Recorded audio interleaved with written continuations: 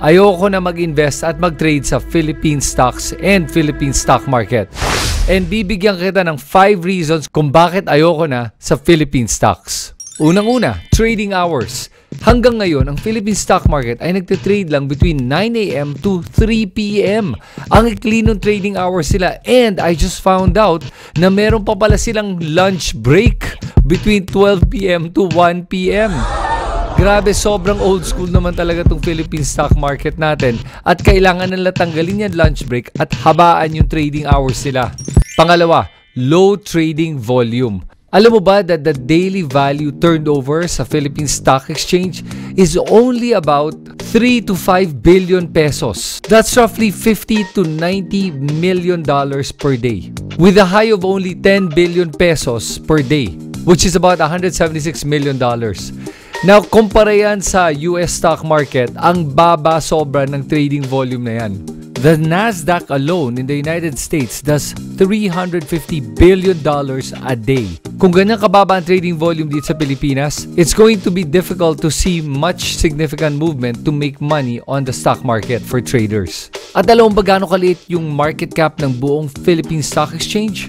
It's only 270 billion dollars. I know that sounds big, pero kung kinumpare mo yan sa New York Stock Exchange, that has a market cap of 25 trillion dollars. Halos 1% lang ang size ng market natin kumpara sa New York Stock Exchange. And think about this ha, yung buong Philippine stock market is smaller than the top 20 companies in the US stock market. And that's the whole Philippines. O bago ko sabihin yung other three reasons kung bakit hindi na ako nagtatrade ng Philippine stocks, gusto mo ba mag-trade ng US stocks o kaya commodities, forex, or indices?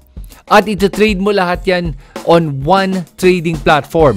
And you get to trade it against Bitcoin, kung naintriga ka dito, check out the newest all-in-one trading platform called Ceros Markets. And I'll share with you the link right here for the full video walkthrough of Ceros Markets if you're interested. And I'll also share the link for the sign up in case gusto mo na mag-sign up. Okay, let's go back now to the last three reasons kung bakit ayoko na mag-invest at mag-trade ng Philippine stocks. Number three, lack of trading options. Alam mo sa Philippines, ano, it's called vanilla trading. At it's called vanilla dahil ang plain niya talaga. Ibig sabihin, ang pwede mo lang gawin dito ay spot trading. Pwede ka lang bumili ng shares at ibenta yung shares kung kumita ka na. That's it. Wala siyang mga derivatives, options, wala siyang mga futures, perpetuals, walang ganon. It's so simple, you can't even sell short. Well, hopefully, I heard na babaguhin na daw nila yun at mag-aalaw na sila ng mga short selling. Let's see what happens. But for now, it's vanilla trading and there's nothing you can do with the trading in the Philippine stock market.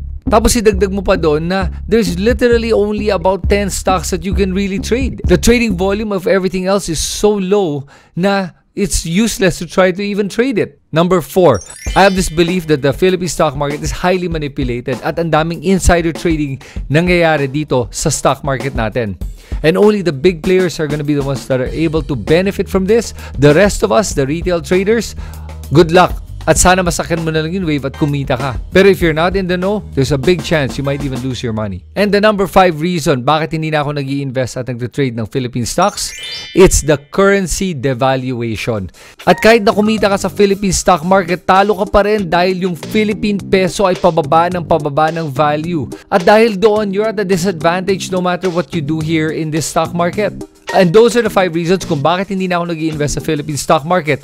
But I am still hopeful that the PSC will be able to see how they can evolve and improve the trading and investing landscape in the Philippines to be able to attract again retail investors to invest in this market. There are a couple of things sa pwede lang gawin to be able to improve that. Number one, take out the trading hours. Make trading 24-7. Number two, they should really consider going on the blockchain. Number three, which they're already talking about, is offering different trading options. Derivatives, leverage tradings, futures, and all of that. Number four, improve regulations and monitoring para walang insider trading at mabawasan yung mga manipulative trading. And number five, ito hindi ko alam kung ano magagawa nila with regards to the Philippine pesos devaluation. Maybe they should consider trading the Philippine stocks against a more stable currency.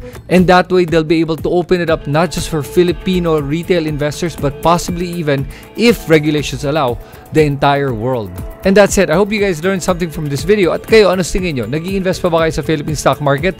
And if you do, I'd love to know kung bakit nag invest pa kayo sa Philippine stock market and what do you think can they do to improve their services business and their offerings.